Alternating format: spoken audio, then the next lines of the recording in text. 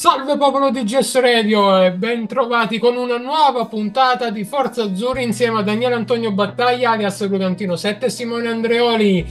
Ciao Simo! Ciao Daniel, un saluto a tutti quelli che ci stanno ascoltando se gli è rimasta un po' di voce dopo questa partita. Eh, esatto, perché io sono a zero. Ci siamo salvati realmente a 7 secondi dalla fine con un gol di Zaccagni. Abbiamo pareggiato contro la Croazia e siamo arrivati secondi nel girone. Giocheremo sabato alle ore 18 contro la Svizzera agli ottavi di finale. Partita pessima per certi versi, non per l'orgoglio che ci hanno messo gli azzurri, né, mh, mm, soprattutto dopo che abbiamo subito il gol dell'1-0. Però onestamente sia Croazia sia Italia sono la copia sbiadita delle grandi nazionali che sono state in passato, però intanto ci siamo qualificati. Simo, cosa ne pensi? Allora, hai detto la cosa più esatta, cioè la partita è stata giocata malissimo, non so se per motivi tattici, tecnici, come si suol dire, però primo tempo impalpabile, il secondo tempo soprattutto ci ha tenuto, galla, ci ha tenuto a galla Donnarumma, probabilmente senza di lui stasera e mi fa strano dirlo perché l'ho, l'ho, l'ho tanto criticato nelle nostre puntate, però meno male che avevamo Gigio però questa non è una nazionale che meritava il passaggio del turno, almeno appunto fino all'azione del gol che poi alla fine è stata una cavalcata solitaria di Calafiori che a questo punto mi dispiace che sia stato ammonito e quindi salterà la prossima partita contro la Svizzera, quindi è un bel colpo da subire, però diciamo noi avevamo già criticato la nazionale dopo la sconfitta con la Spagna e diciamo che non sono state recepite le critiche da parte nostra sicuramente però forse anche no, non, ci hanno, non, ci hanno, fatto giocare. E, ed è stato strano vedere soprattutto dopo il gol della Croazia che loro comunque continuavano a pressare alto si sono praticamente chiusi in difesa solo verso gli ultimi 10 minuti di recupero che ci ha salvato anche qui il, l'elevato minutaggio di recupero perché altrimenti quel gol di Zaccagni non arrivava. E guarda, io ormai non ho più critiche da, da, dire a questa nazionale perché l'orgoglio ci sarebbe pure, il carattere dei ragazzi c'è, il problema è che non riescono a tramutare in campo questo orgoglio che, che sentono, perché non, non, piangi di felicità per una qualificazione se non hai un di, se non hai l'orgoglio di indossare questa maglia. Scusami. Quindi fa strano che non riescono appunto a mettere in campo quello che, che valgono ancora una volta anche in questa partita praticamente Scamacca non ha giocato anche se è partito dalla panchina Reteghi ci ha provato a fare il centrale Boa ma appunto i palloni non arrivavano davanti e il fatto che potevo capire e ammettere ehm, soffrire eh, sulle fasce contro la Spagna no perché come sempre detto gli esami serata possono battere chiunque ma eh, scusate un attimo, Simo. Scusate un attimo, Simo. Um, vi chiediamo scusa, ragazzi. Abbiamo problemi di connessione e quindi ogni tanto, Simo, okay. ti, ti, abbiamo sentito a singhiozzo. Uh, continua Perfetto. comunque.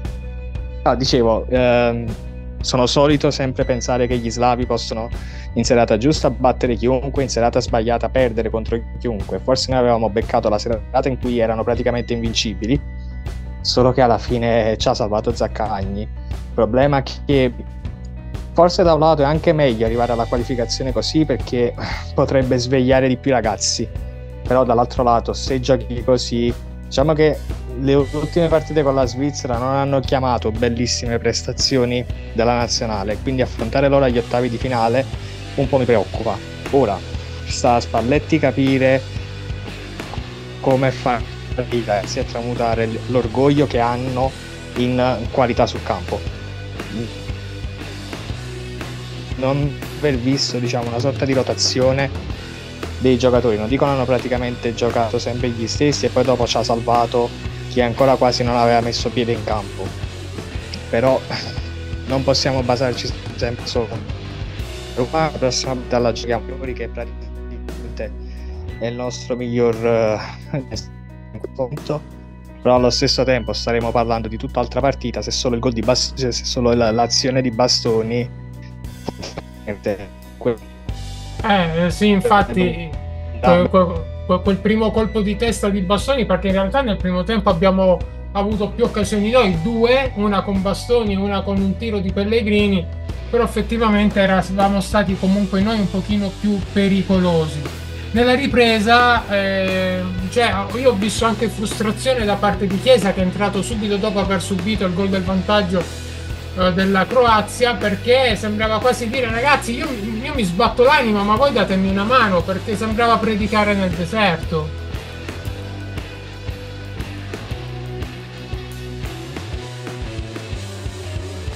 Simo ci sei?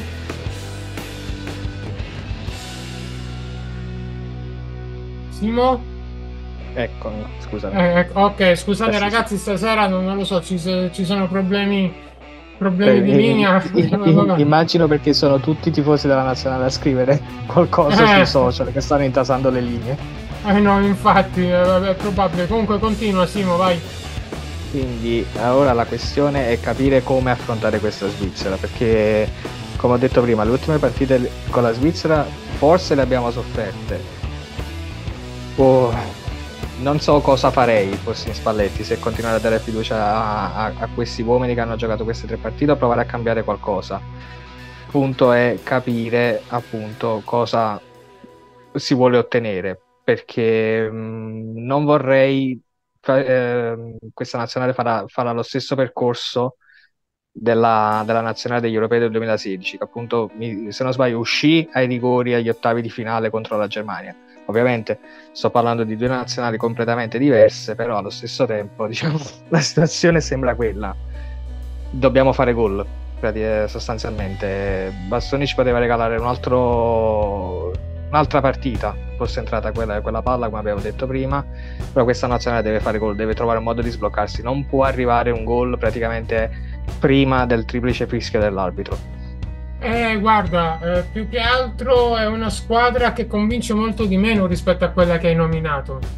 Perché come ho detto a inizio puntata, sia noi sia la Croazia, eh, parliamoci chiaro, siamo due copie realmente sbiadite, i fantasmi di, di quella che è stata una Croazia gagliarda degli ultimi 15 anni che è arrivato in finale mondiali, ha fatto terzo posto, semifinale agli europei e, e noi che siamo stati quattro volte campioni del mondo, siamo campioni d'Europa in carica, ma onestamente, onestamente, cioè, questa, questa squadra fatica, fatica a fare gioco.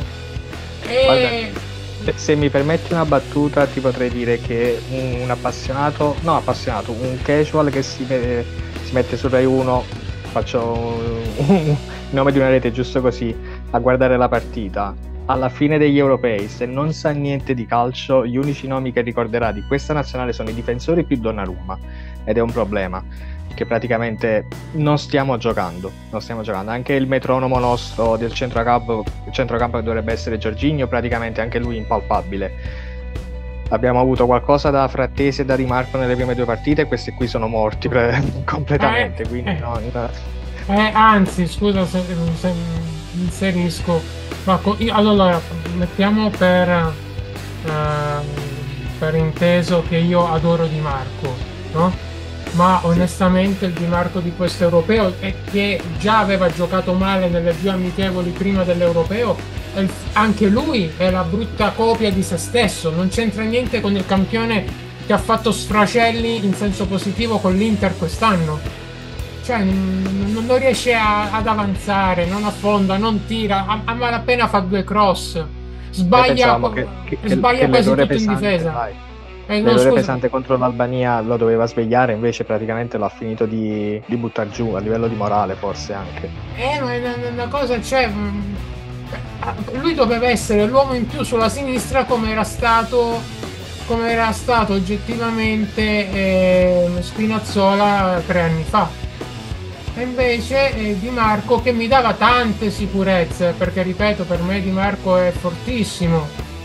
E invece ora non lo so. Io mi auguro che lui Giorginio eh, Scamacca, Di Lorenzo si sveglino come è successo a Roberto Baggio nel mondiale del 94 quando dopo tre partite così così molto deludenti si svegliò eh, durante gli ottavi di finale alla fine contro la Nigeria e da lì eh, rischiò addirittura di vincersi la scarpa d'oro, la scarpa d'oro ci trascinò fino ai, a, alla finale, poi perse i rigori contro il Brasile. Ma voglio dire, perché oggettivamente la squadra, tanti dei nostri sono sottotono e, e chiaramente l'impegno che ci hanno messo, quello non si mette in discussione perché quello c'è, quello c'è, c'è stato sempre, anche se avessimo perso uh, lo, sforzo, lo sforzo dei nostri ragazzi c'è stato sempre,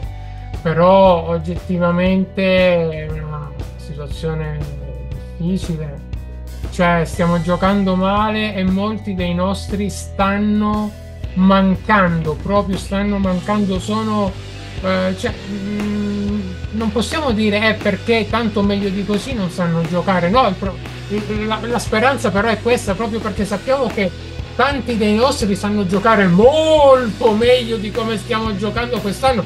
Cioè, eh, sia, eh, sia contro la Spagna sia oggi sembrava che non si allenino che, mh, mm, insieme.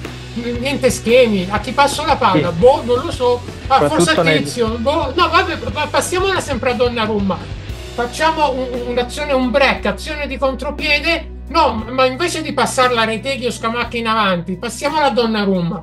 Cioè, ragazzi, esatto. siamo... Soprattutto l'assalto finale ha dimostrato che praticamente è come se non ci fossero schemi tra di loro, comunque mancanza di intesa. Ed è strano, ed è strano perché tante nazionali nostre si sono basate sul fare il gruppo, dove il gruppo riesce anche a sopprimere determinate mancanze.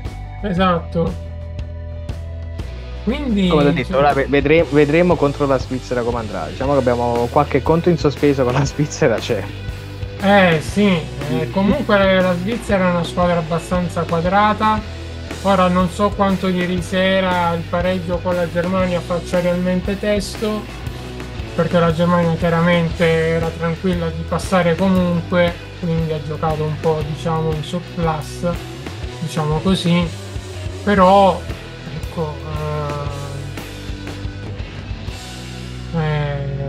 cioè... Ci siamo, almeno ci siamo evitati Portogallo e, e, qual era l'altra nazionale che potevamo beccare da migliore terza? Eh, lì, no, e lì dipende ora come andranno le cose avanti, perché ancora ci possono essere sorprese, potevamo anche beccare, mi, mi pare pote, potessimo beccarci la Francia eh, se fossimo stati ripescati come terzi quindi in base a, a, a che posizione del, del, del, ripescaggio anche, quindi cioè ci è andata, andata veramente bene così ragazzi, veramente bene. Però ecco, questa nazionale si deve svegliare, io non do la colpa né, né a loro né a Spalletti perché ripeto, Spalletti ha avuto in realtà poco tempo per lavorare su questa squadra.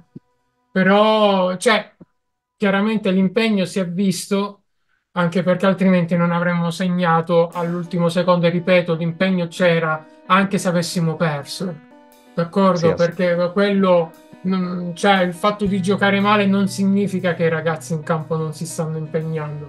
Però c'è qualcosa che deve anzi ci sono più cose che devono essere messe a posto al più presto altrimenti si esce con la Svizzera eh.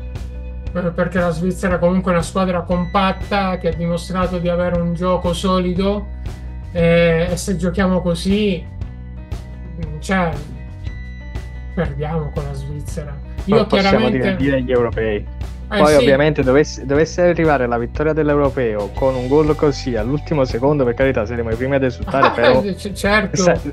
però probabilmente si potrebbe anche piazzare poi questo europeo vinto nella cartella fallimento se, arri- se dovesse arrivare così perché non hai dimostrato niente sostanzialmente. Ma intanto vinciamolo nel caso, Simo, quello poi... Sicuramente, quello sicuramente. poi, poi, come catalogarlo, cavoli nostri, voglio dire, anche nel...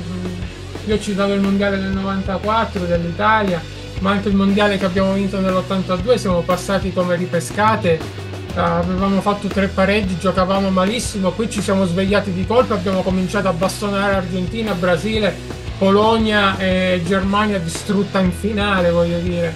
o la stessa Argentina che giocando malissimo nel 90 passò per come ripescata mi pare o, o, si, o, o per differenza reti arrivò seconda nel girone e poi arrivò in finale semplicemente vincendo le partite a rigori tra cui contro di noi a Napoli eh, cioè, eppure era una squadra che giocava malissimo e poi perse la finale solo per 1-0 a pochi minuti dalla fine con un rigore di Andreas Bremer in favore della Germania.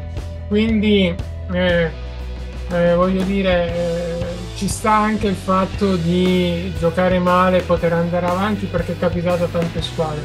Adesso, per questa, per questa puntata, direi che è tutto perché in realtà c'è poco da dire, oltre al miracolo di Donnarumma su Modric, agli ennesimi errori difensivi, alla voglia però di, di restare ancora vivi con il gol di Zaccagni.